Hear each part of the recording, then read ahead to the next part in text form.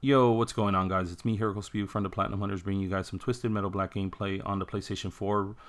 This used to be a PS2 classic, and it still is, so they re-released it for the PS4, so I thought I'd use it for some quick gameplay. I'm going to try and keep the video very short, so I just a couple of things I want to talk about. I did release an update video earlier, but I just didn't like the way it turned out, so I'm redoing it, and here we go.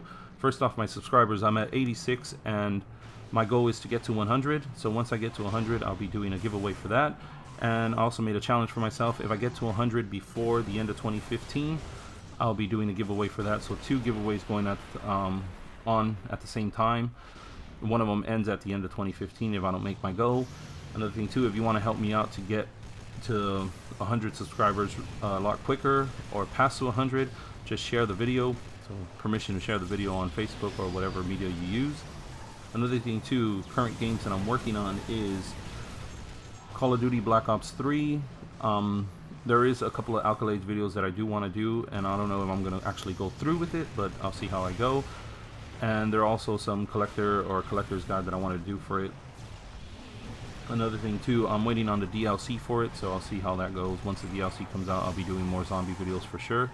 Another thing is Star Wars Battlefront. I am playing the game, but it's mostly multiplayer based and most of the stuff is straightforward. There's nothing too difficult. That's why I really don't upload gameplay from it.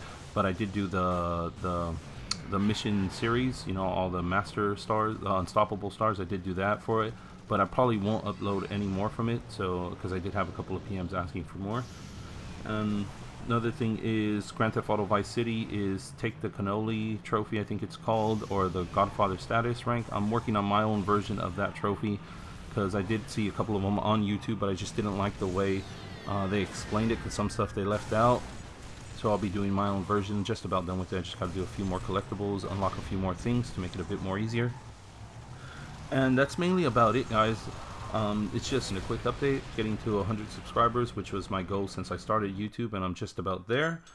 So if you want to help me out, just share the video. I hope you guys enjoyed the quick gameplay. So don't forget to comment, like, and subscribe, and I'll catch you guys on the next one. Later, guys.